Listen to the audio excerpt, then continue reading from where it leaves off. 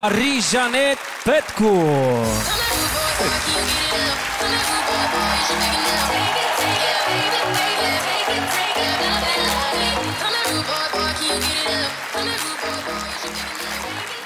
Bună, bine v-am regăsit, în primul rând. Să rămână bine ai revenit. Am venit să spun la mulți ani, Mihai, Mulțumesc. în primul rând. A început să-mi placă. Atâta, mulțumesc. Ok. Hey! Nu, nu, nu, nu. M-am întors și eu pentru că oricine merită a doua șansă, nu? Că, în definitiv, toți avem dreptul la o a doua șansă și toți ne amintim cum a fost prima oară, așa că cu sigur o să-mi iasă mai bine. Bine, eu am avut și suportul celor de acasă, știți? I-am întrebat pe cei de pe TikTok dacă, dacă ar fi o idee bună să mă întorc și ei mi-au răspuns cu foarte mare pasiune. Apoi, ei înțelegând conceptul emisiunii, m-au întrebat ce am pregătit pentru astăzi. Ok, asta a fost întrebarea mea. Dar eu nu înțeleg hype-ul ăsta, știi? Că nu e chiar atât de greu să te pupe, mă, Mihai. Adică, ca să te pupe Mihai, știi ce trebuie să faci? Trebuie să fii vie. Atât, asta e tot. Bă, nu neapărat. Neapărat, da, da.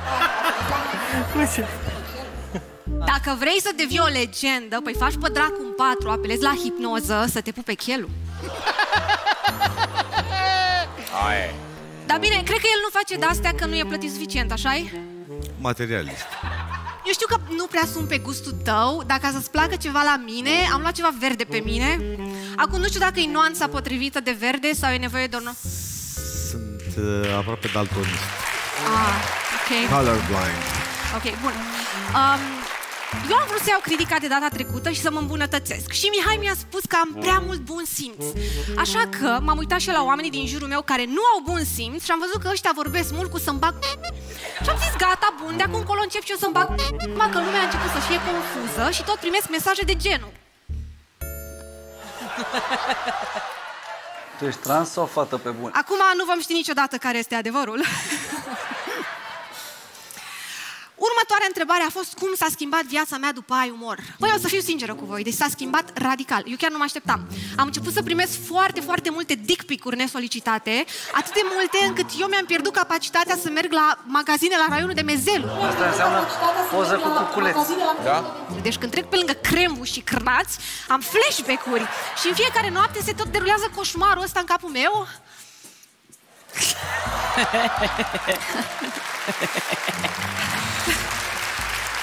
Ăsta a fost un Omul TikTok plutește în viral aer. cu crembuștii care țar, știi?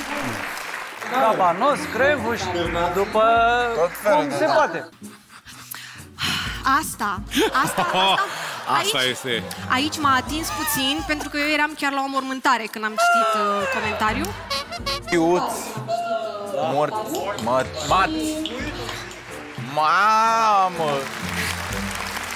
Da, da, da. Da, uh, murise, murise gramatica limbii române și de-aia am fost la mormântare. E bună spune acum. Merge. Slabă rău, auzi, slabă rău, nu știu.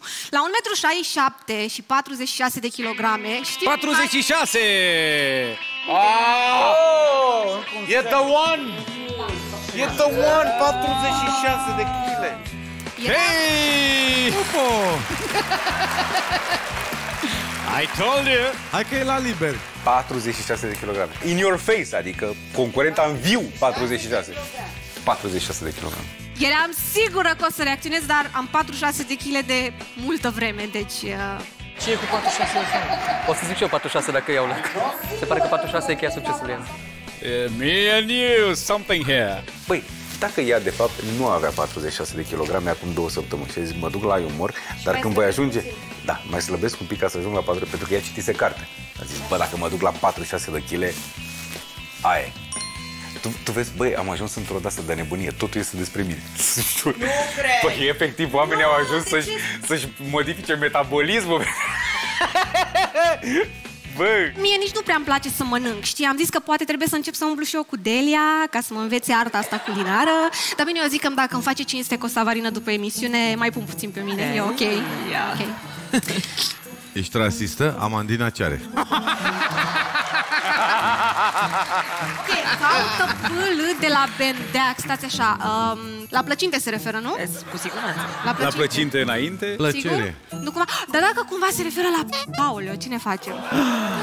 nu nu știu, știi ce? Lasă că trimiți o poză în DM și tu, vedem după emisiune. În DM? La tine în scop medical să ne asigurăm că a dat roade tratamentul ăla pentru micropenis, știi?